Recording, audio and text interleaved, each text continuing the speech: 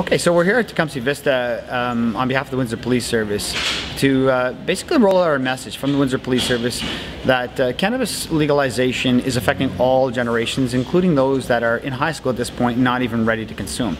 Uh, the purpose of this is to educate our youth, because we believe at the Windsor Police Service that education and knowledge is power, and having the knowledge to make the right choices and understanding the consequences for use early on in age or against the laws that still exist uh, have repercussions on our community and them. So we want to give them the power, the knowledge, and the ability to respond appropriately to, the, appropriately to this legalization and to afford them the ability to make the right choices going forward. Um, it's good that we educate our youth. It's good that we embrace them now because they're our future.